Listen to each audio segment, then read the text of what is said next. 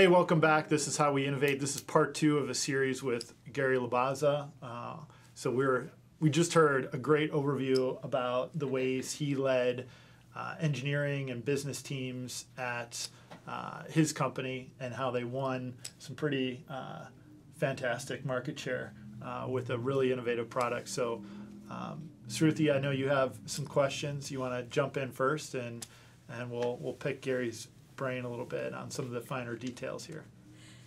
Hi, Gary. I think the uh, innovation through time uh, was the best uh, message delivered.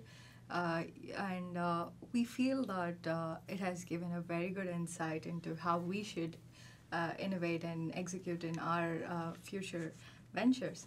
And um, I just have a quick question like, so when it comes to agriculture or like in general, the industry you are looking at, what do you think would be the biggest challenge for any uh, person? Yeah, well, uh, right now, I mean, it depends on your consumer, um, and I would say that uh, the residential consumer space in the current um, era is really um, um, experiencing a lot of new technology in battery-driven products, and so it's and it's an interesting parallel to automotive, right? Automotive uh, is doing, if you see all the television commercials, you know, all the automotive things are pitching um, battery driven products, mm-hmm. but they still sell a lot of gas.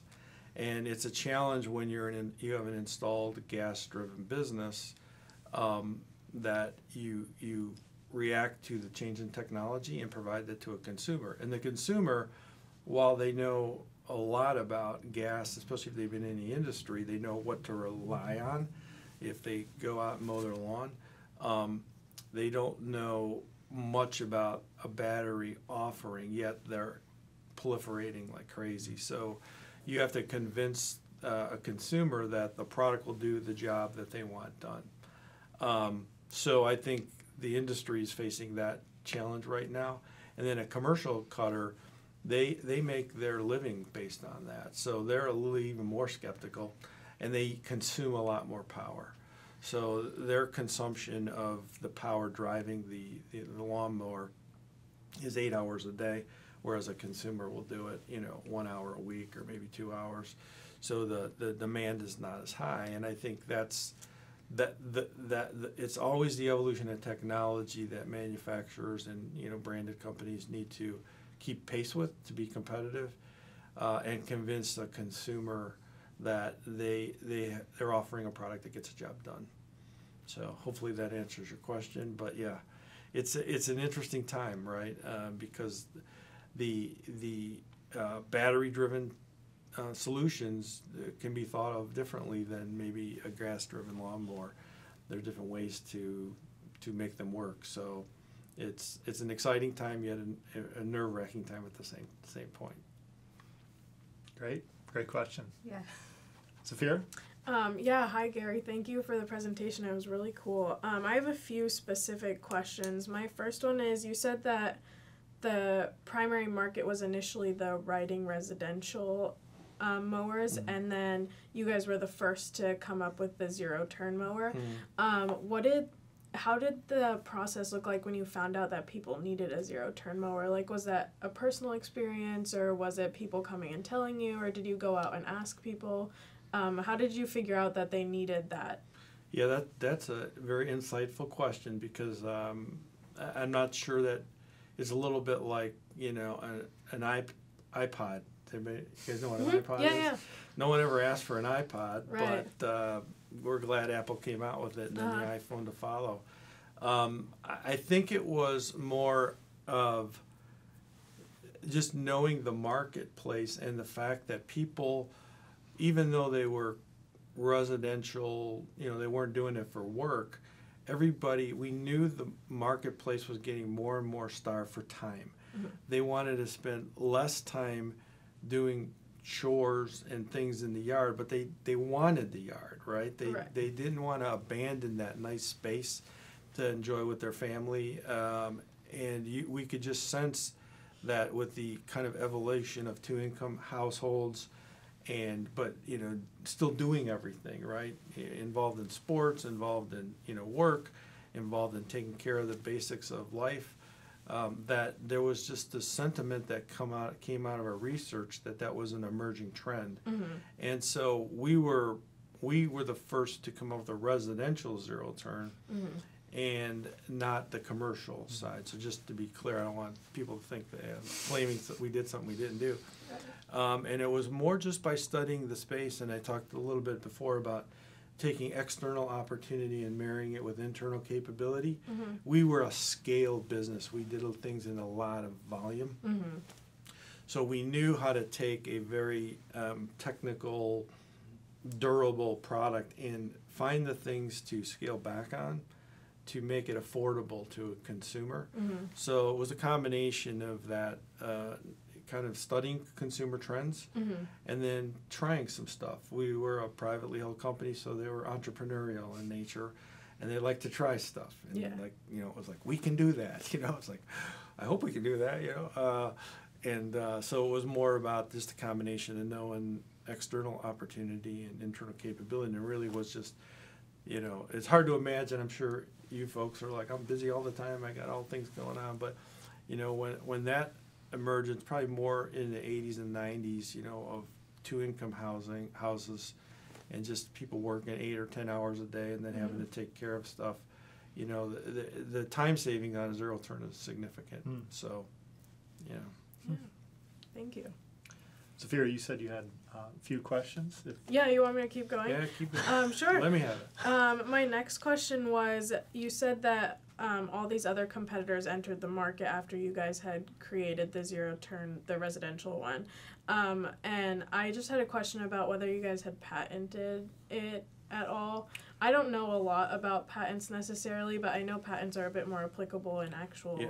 products like that. So, patenting that technology, is that something you guys did or? There are certain things we can patent, like I showed you a uh, a zero turn with the steering wheel, Mhm. and we own we own the patent on that. I'm not sure if it wasn't uh, patentable or we didn't patent it. I'm not I'm not really sure, but Mhm. I, I would suggest that because the it was done in the commercial space, that there were probably prior prior patents and prior I, I, IP on that.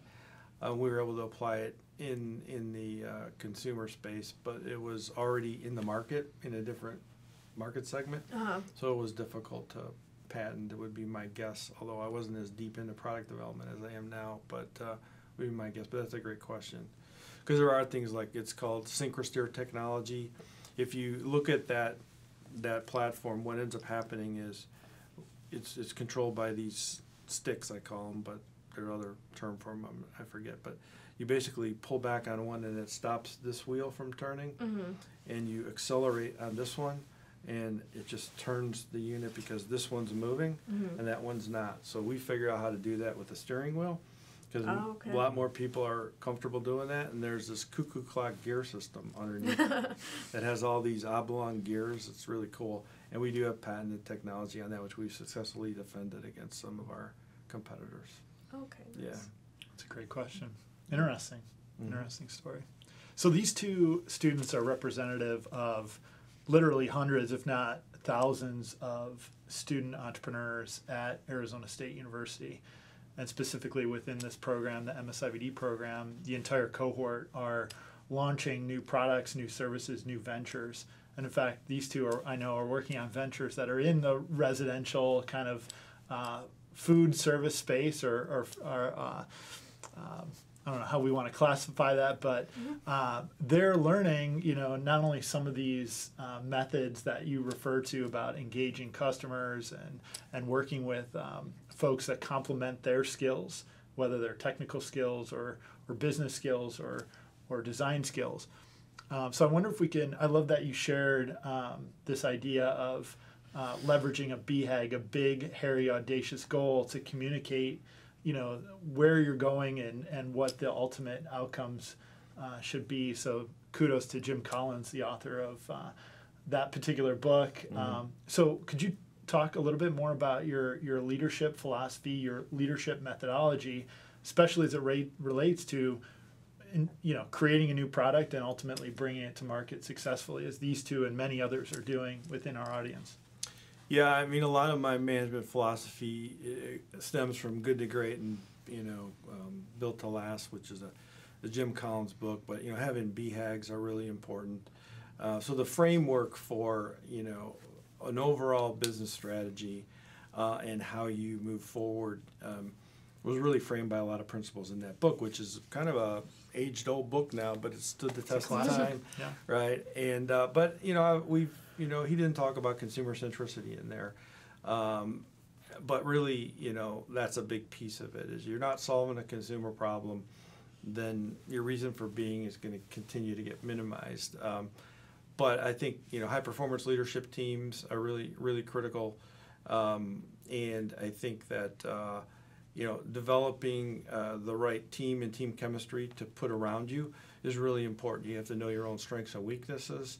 I always say I'm just a simple Polish accountant from the east side of Cleveland, but somehow I made my way, and I think it had a lot to do with putting the right people around me that complement my skills in particular uh, as a leader, um, and then believing in people and saying, "Hey, listen." You know, we're all on this growth journey of learning, you know, how to do different things and working in a business world that is not, you know, it's an evolving discipline. There's no perfect science to it.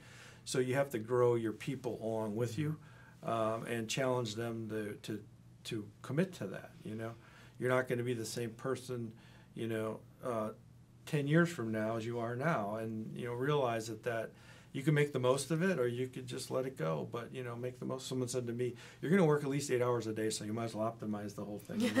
Sure. Uh, seems sound to me. So let's uh, go get my master's and do a lot of different things, and it's turned out really good. So I think high performance leadership team. Uh, there, there's a, an author by the name of Lencioni talks about how you build a team. He wrote uh, Five Dysfunctions of Team. Those principles are rock solid in terms of just how you have, you know, trust. Um, you have conflict.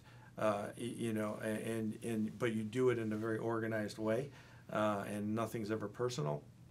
I think that that's really big.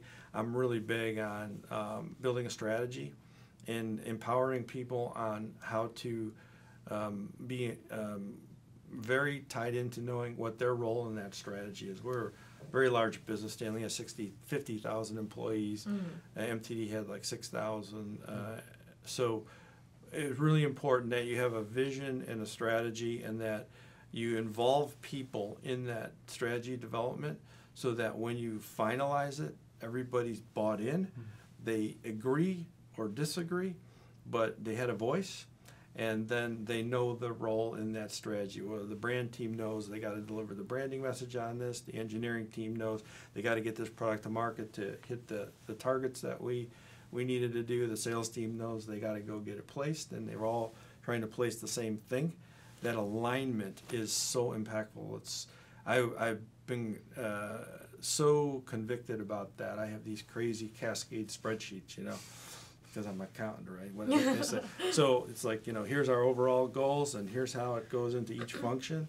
And my admin assistant would ask me, "Really? How do I do this?" Well, you help me with this, you help me with that, you help me with that. You make a big impact on this, as much as the engineer designing the ultimate does. And so having that kind of uh, alignment throughout the organization so that everybody's focused on the same thing, um, you know, is, is really uh, mission critical.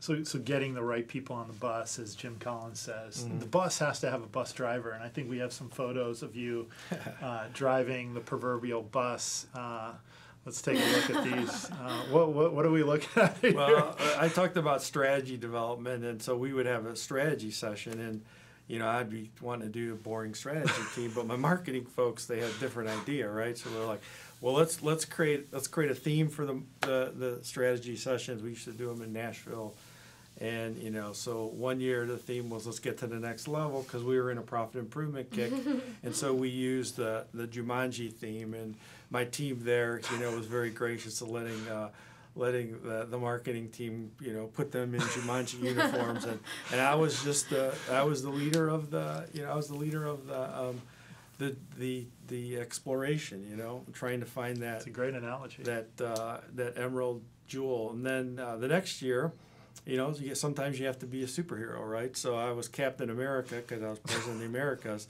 and my team were all the other superheroes, and it was the it was uh, I think it was called the End Game, and that was the final year before we we knew we were going to get sold, and we knew okay. This is the final push to that end game, you know.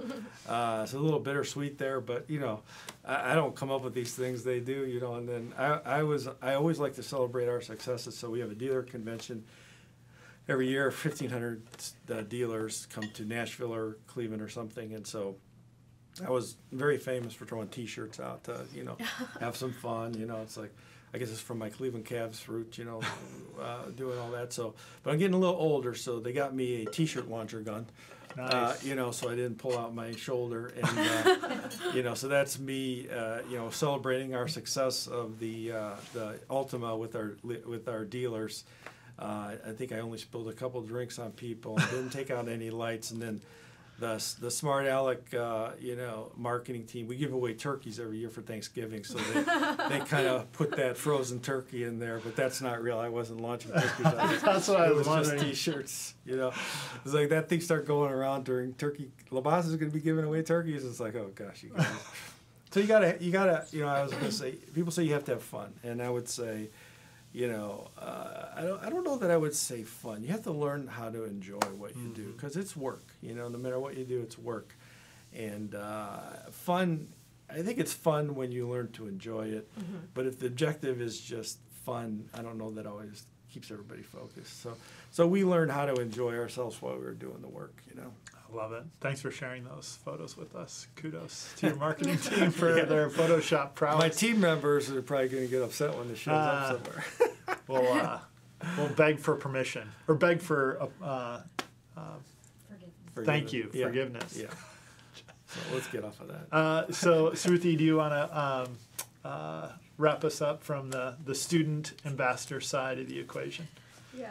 Gary, we're very new entrepreneurs, like startup people. We don't have uh, the, well, we have the market opportunity. We don't have the internal resource to do that. Mm-hmm. What kind of advice would you give us uh, for new startups?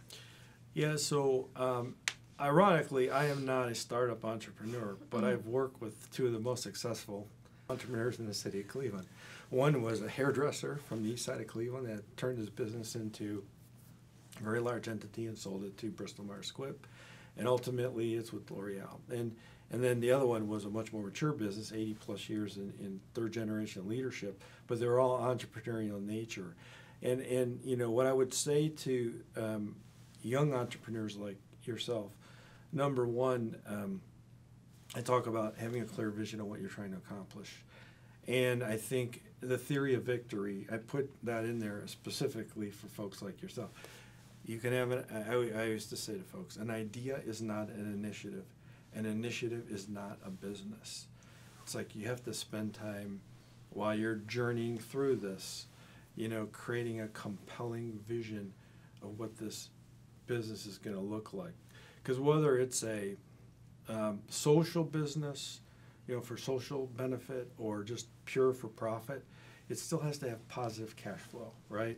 So, and in order to get off the ground, you're probably going to need to convince someone to give you cash. And the more compelling that theory of victory is, the more likely it is that you will get support from, you know, capital markets or, or you know, friends and family or how, whatever round you're, you're on uh, to make that happen. And that's not easy, right? That's not easy. That's why we spend a lot of time sitting in a room with a bunch of people trying to make sure that strategy's sound in a very mature business. So in, in your space, you know, uh, it's it's gonna gonna have to be a balance, but ultimately, that theory of victory and that business case for how you win, I think, from my perspective, is probably you know what I would offer as advice to you. Just by spending a few time with you, I could say that how fun it is to enjoy the process with you just by talking business. So I hope I, I am to be in future. Yeah, So great, yeah, great. That's awesome. thank you.